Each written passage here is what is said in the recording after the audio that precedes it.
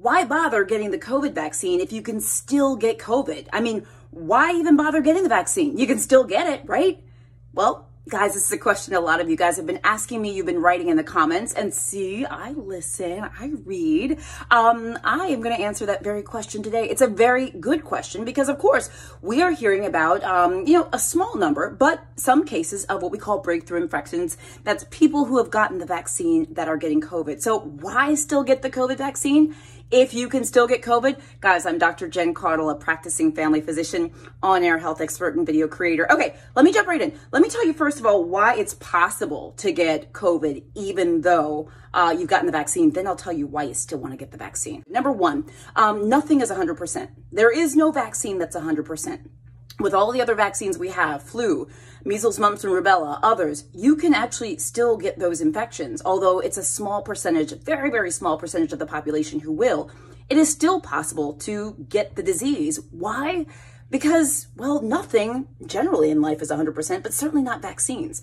Now, these vaccines that we have are very effective into the 90s at Pfizer and Moderna. Um, so they are super, super, super uh, effective, but they're not 100% because, well, no vaccine's 100%. And thus, there are going to be some people who get the vaccine and still get infected. That's just called life. That's just the way it goes um, in health and in medicine, okay?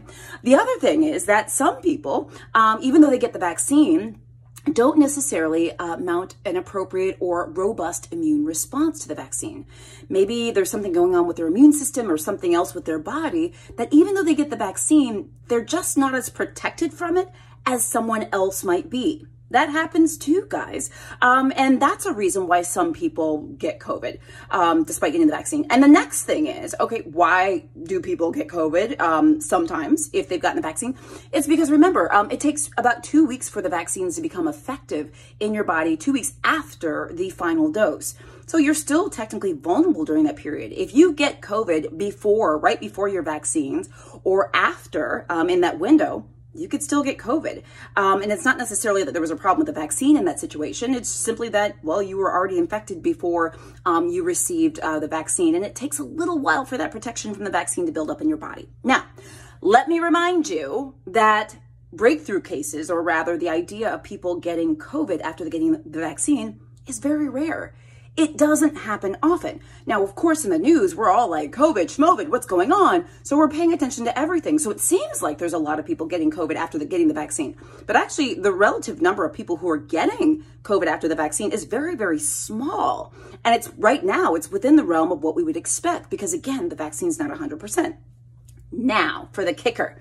Why should you get the vaccine even though you technically can still get COVID? Well, the main reason is because if you get the vaccine and you do end up getting COVID, you are less likely to die from it.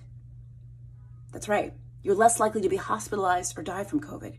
If you're not vaccinated and you get COVID, you get the Delta variant, etc., your risk of dying from COVID, of being hospitalized from COVID, of having severe COVID symptoms is much, much, much, much greater. If you've had the COVID vaccine and you get COVID, Many people are asymptomatic, meaning they have no symptoms at all, or the symptoms are very mild, like a cold. Well, who can't deal with a cold? Most of us can. Of course, you have to quarantine and all that good stuff, but most of us can, can deal with that. What we can't deal with is dying, is death, is hospitalization, is being on a ventilator. So when you ask yourself and you think about whether you want to be vaccinated or not, whether you want to get your family vaccinated or not, you know, I know there's a lot of arguments that are encouraging people not to get vaccinated. But it really comes down to life or death. And, and let me be clear there are people who've gotten the COVID vaccine that will get COVID that will die. I'm not going to sugarcoat it. This it's called life. Life is not perfect, and that's what happens. But the number is is much, much, much, much less than if you don't get the COVID vaccine. This is about risk, guys. This is about statistics. It's about numbers.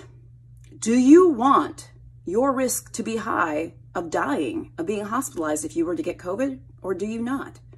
That's the question you should ask yourself, ask your family, and think about. Guys, I'm Dr. Jen Caudle, practicing family physician, on-air health expert, and video creator. Please get the COVID vaccine. If you have not subscribed to my channel and click the little bell for updates, please do. Um, and guys, I will be back soon with more videos.